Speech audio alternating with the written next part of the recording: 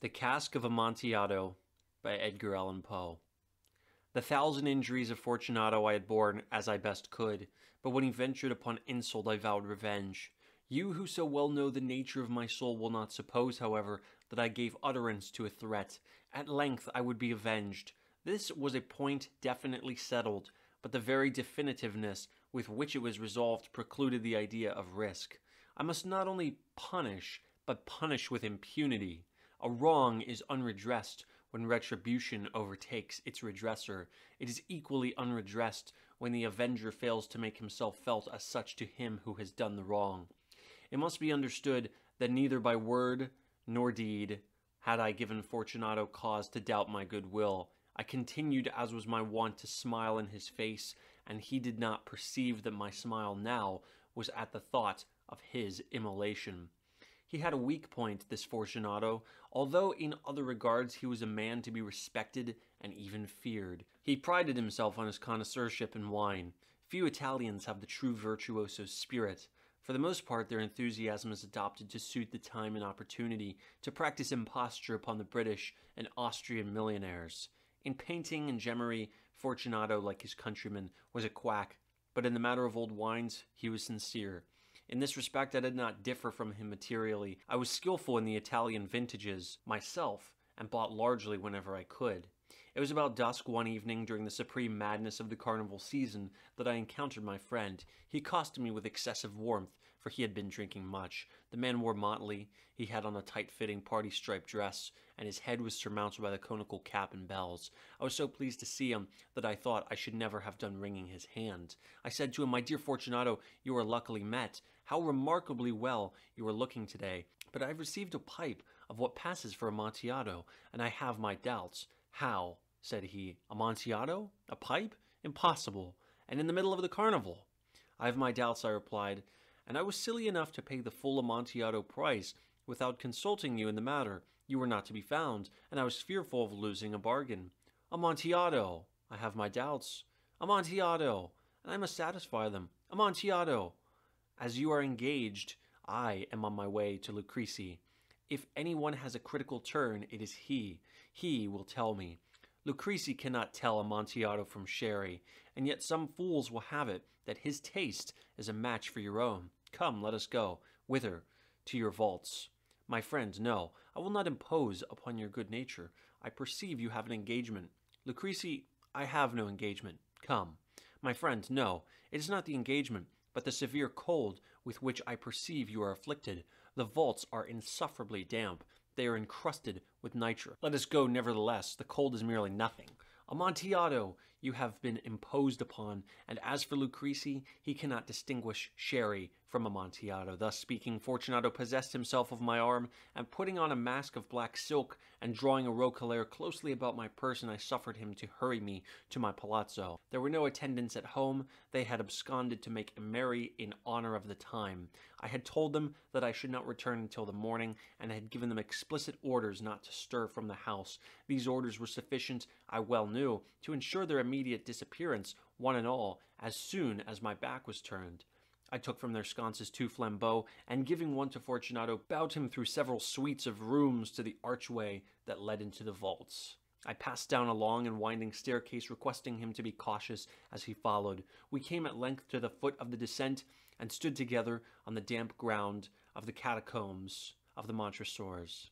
The gait of my friend was unsteady, and the bells upon his cap jingled as he strode. The pipe? Said he. It is farther on, said I, but observe the white webwork which gleams from these cavern walls. He turned towards me and looked into my eyes with two filmy orbs that distilled the rheum of intoxication. Nitre? he asked at length. Nitre, I replied. How long have you had that cough? Ugh, ugh, ugh. Ugh, ugh, ugh. Ugh, ugh, ugh. Ugh, ugh, ugh. Ugh, ugh, ugh. My poor friend found it impossible to reply for many minutes. It is nothing, said he. At last, come, I said with decision. We will go back. Your health is precious. You are rich, respected, admired, beloved. You are happy as once I was. You are a man to be missed. For me, it is no matter. We will go back. You will be ill, and I cannot be responsible. Besides, there is Luchesi. Enough, he said. The cough is a mere nothing. It will not kill me. I shall not die of a cough. True, true, I replied, and indeed I had no intention of alarming you unnecessarily. But you should use all proper caution. A draught of this Medoc will defend us from the damps. Here I knocked off the neck of a bottle which I drew from a long row of its fellows that lay upon the mould. Drink, I said, presenting him the wine. He raised it to his lips with a leer. He paused and nodded to me familiarly while his bells jingled. I drink, he said, to the buried that repose around us, and I to your long life. He again took my arm, and we proceeded. These vaults, he said, are extensive. The Montresors, I replied, were a great and numerous family. I forget your arms. A huge human foot d'or in a field azure. The foot crushes a serpent rampant whose fangs are embedded in the heel. And the motto? Nemo me impune lacessit. Good, he said. The wine sparkled in his eyes and the bells jingled. My own fancy grew warm with the Medoc. We had passed through long walls of piled skeletons with casks and puncheons intermingling into the inmost recesses of the catacombs. I paused again, and this time I made bold to seize Fortunato by an arm above the elbow. The nitre, I said. See, it increases. It hangs like moss upon the vaults. We are below the river's bed. The drops of moisture trickle among the bones. Come, we will go back ere it is too late. Your cough. It is nothing, he said. Let us go on, but first another draught of the Medoc. I broke and reached him a flagon of de Grave. He emptied it at a breath. His eyes flashed with a fierce light. He laughed and threw the bottle upward with a gesticulation I did not understand. I looked at him in surprise. He repeated the movement, a grotesque one. You do not comprehend, he said. Not I, I replied. Then you are not of the Brotherhood. How? You are not of the Masons. Yes, yes, I said.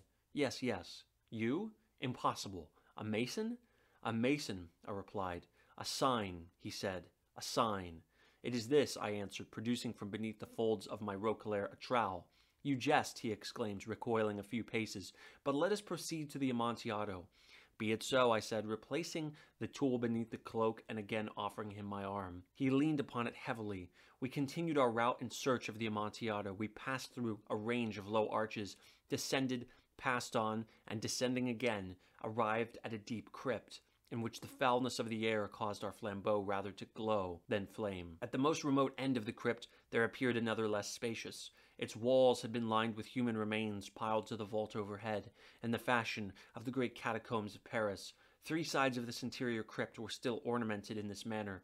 From the fourth, the bones had been thrown down, and lay promiscuously upon the earth, forming at one point a mound of some size. Within the wall thus exposed by the displacing of the bones, we perceived a still interior crypt or recess, in depth about four feet, in width three, in height six or seven. It seemed to have been constructed for no especial use within itself, but formed merely the interval between two of the colossal supports of the roof of the catacombs, and was backed by one of their circumscribing walls of solid granite. It was in vain that Fortunato, uplifting his dull torch, endeavored to pry into the depth of the recess. Its termination the feeble light did not enable us to see. Proceed, I said. Herein is the Amontillado. As for Luchesi, he is an ignoramus, interrupted my friend, as he stepped unsteadily forward, while I followed immediately at his heels. In an instant he had reached the extremity of the niche, and finding his progress arrested by the rock, stood stupidly bewildered. A moment more, and I had fettered him to the granite. In its surface were two iron staples, distant from each other about two feet, horizontally. From one of these depended a short chain, from the other a padlock. Throwing the links about his waist, it was but the work of a few seconds to secure it. He was too much astounded to resist. Withdrawing the key, I stepped back from the recess. Pass your hand, I said, over the wall, you cannot help feeling the nitre. Indeed, it is very damp. Once more, let me implore you to return. No? Then I must positively leave you. But I must first render you all the little attentions in my power. The Amontillado, ejaculated my friend, not yet recovered from his astonishment. True, I replied, the Amontillado. As I said these words, I busied myself among the pile of bones of which I have before spoken. Throwing them aside, I soon uncovered a quantity of building stone and mortar. With these materials, and with the aid of my trowel, I began vigorously to wall up the entrance of the niche. I had scarcely laid the first tier of the masonry when I discovered that the intoxication of Fortunato had in a great measure worn off.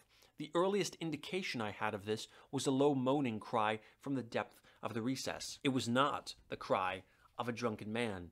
There was then a long and obstinate silence. I laid the second tier, and the third, and the fourth, and then I heard the furious vibrations of the chain. The noise lasted for several minutes, during which, that I might hearken to it with the more satisfaction, I ceased my labors and sat down upon the bones. When at last the clanking subsided, I resumed the trowel and finished without interruption the fifth, the sixth, and the seventh tier. The wall was now nearly upon a level with my breast. I again paused, and holding the flambeau over the mason work, threw a few feeble rays upon the figure within. A succession of loud and shrill screams bursting suddenly from the throat of the chained form seemed to thrust me violently back. For a brief moment I hesitated, I trembled. Unsheathing my rapier, I began to grope with it about the recess, but the thought of an instant reassured me. I placed my hand upon the solid fabric of the catacombs and felt satisfied. I reapproached the wall. I replied to the yells of him who clamored. I re-echoed, I aided, I surpassed them in volume and in strength. I did this, and the clamorer grew still. It was now midnight, and my task was drawing to a close. I had completed the eighth, the ninth, and the tenth tier. I had finished a portion of the last and the eleventh. There remained but a single stone to be fitted and plastered in. I struggled with its weight. I placed it partially in its destined position, but now there came from out the niche a low laugh that erected the hairs upon my head. It was succeeded by a sad voice, which I had difficulty in recognizing as that of the noble Fortunato. The voice said, Ha ha ha! He he he! A very good joke indeed, an excellent jest. We will have many a rich laugh about it at the palazzo, he he he, over our wine, he he he. The Amontillado, I said, he he he. He yes, the Amontillado. But is it not getting late? Will not they be awaiting us at the palazzo, the Lady Fortunato and the rest? Let us be gone. Yes, I said, let us be gone. For the love of God, Montresor. Yes, I said, for the love of God.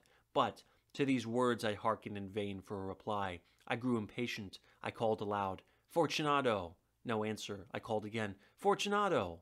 No answer still.